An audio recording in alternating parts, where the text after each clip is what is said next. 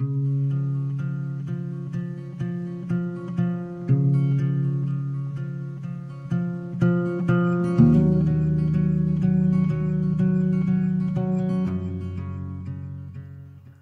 muchas gracias por la, por la, invitación a participar en esta web.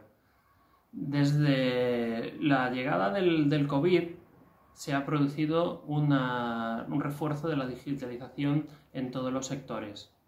En el mundo del arte y de las instituciones culturales también se, ha producido esta, digitalización y se ha hecho fundamentalmente en tres, puntos, que es el, el aumento de las redes sociales, la presencia y la adaptación de las, de las webs y la creación e implementación de las exposiciones virtuales.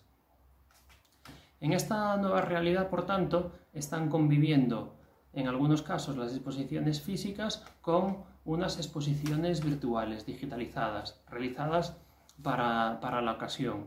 Pero no debemos de ver estas exposiciones virtuales como una competencia de las, de las físicas, de las de los museos y de las galerías, sino como un complemento.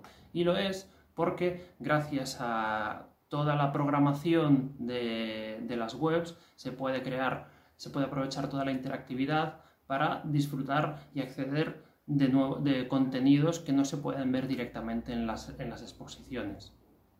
Por tanto, eh, las exposiciones virtuales permiten, y todos los contenidos virtuales permiten acceder a una información mm, que no se dispone directamente en los museos, tanto eh, desde, desde, casa a miles de kilómetros de, la sala de exposición, como viendo directamente aquella obra de arte y accediendo a contenidos como pueden ser pues, las, las restauraciones pasadas, eh, una información histórica o uh, charlas con, con, los comisarios de, de, las, de, las, exposiciones.